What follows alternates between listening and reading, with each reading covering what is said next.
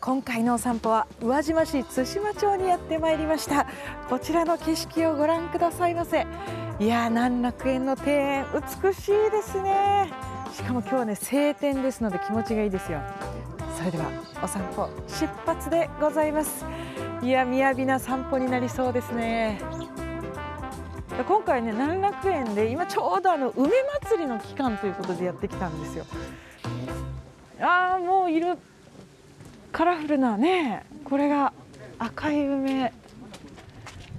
そしてそのお隣には白梅が。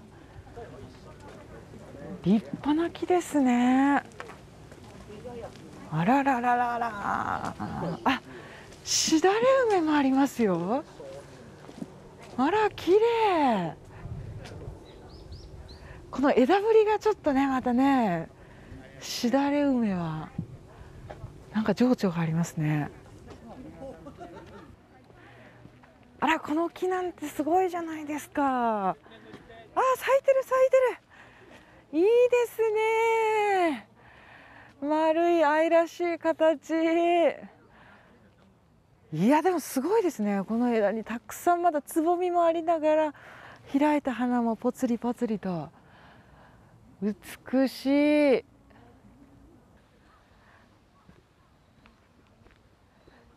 赤い梅もいいですけど私こう白いね白梅？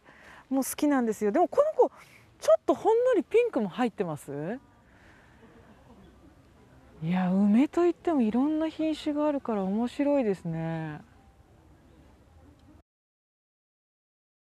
ピクニックしながら？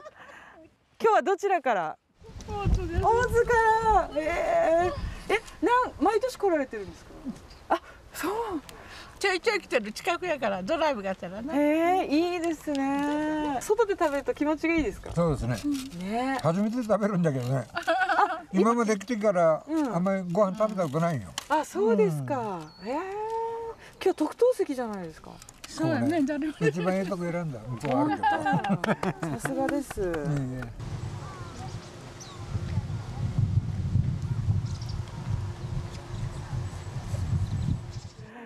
私初めてなんですよ。そうなんですか。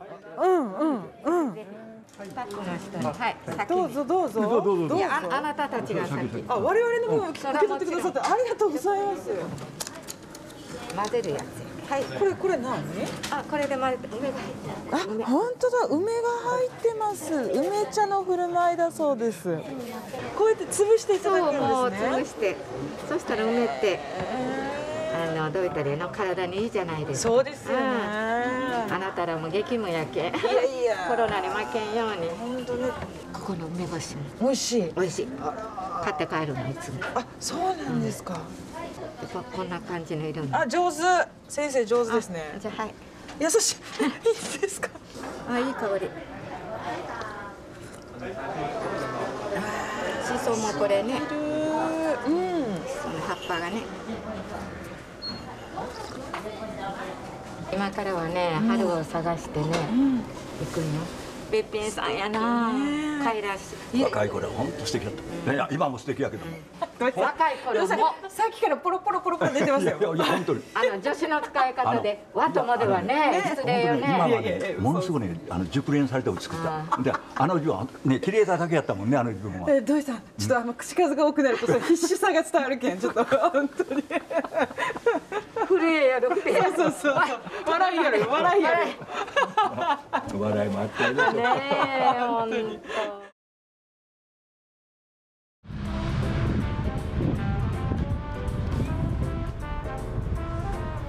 ほら。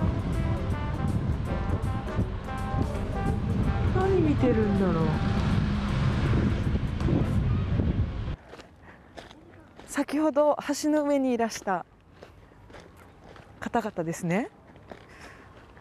何されてるんかなと思って。いや、河原見よるんよなんだ、ええことないのかも。なんということで 宝探し、うん。お宝見つかりました？だから見つかったよ、これ。え何ですか？これは青さ。青さ？うんこれは、あの、味噌汁やなんかに入れたり。はいはいはいこてあれ、巻き寿司にしたりするやろ。うんうんうんうんこれが種なんよ。えーこれ。これがな、あの、広がるんよ。あこっからまたふわっと、うん、マット大きなるんよ。これぐらいになって。これが全部青さの種なんよ。これがこれがな。えここって青さも取れるんですね？そうよ、うん。これ？あーすごいすごい。青のり。これが青のり、うわ。こっちと違うやろさっきの。これは長いやろ、なんかこう細長くて、うん。これこれが長くなって1メーター50も2メーターぐらいなえそんなに伸ので1メータびるんだー50ぐらいになったやつをうんあのひある程度成長したやつをうちは取るようにもっと青さとかって海とかで取れるイメージでしたけど海型とか。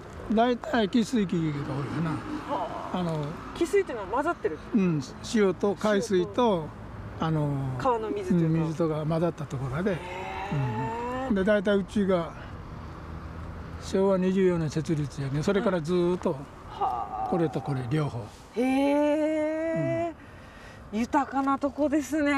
川もなええんやけどないい川ですね。先ほどあの岩松川でお会いした漁協の皆さんに何やらねあの6のつく日は郷土料理六方がお得だと伺ってやってまいりました。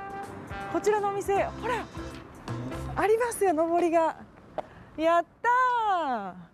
六方の日今日たまたま16日なんですよ。本当にたまたま。というわけで六方の日にやってきたのがこちらのお店です。田村さん。ねえ。行ってみましょう。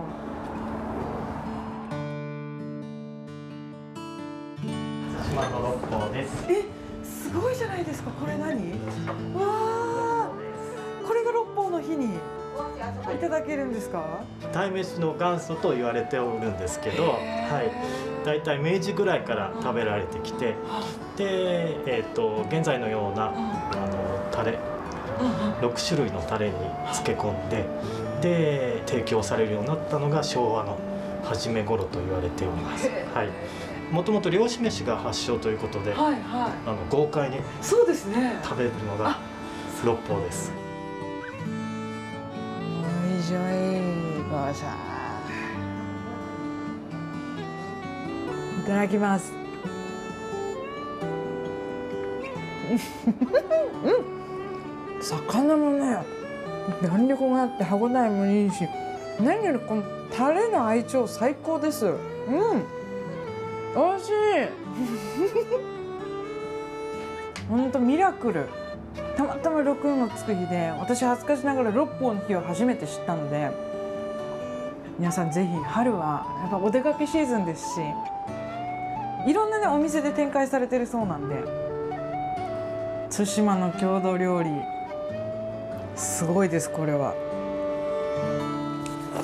うんうん。楽園で会ったご夫婦素敵でしたよね。そうですよねなんかこう人情もほっこりしてあとはやっぱり梅とか、うんさっきの六方とかそうですね。対馬の春はこう自然と食材とでいろいろとこう満喫できる春だなと改めて。感じましたね中山さんも満喫してました。今も素敵な中山さんでした、はいの使い方。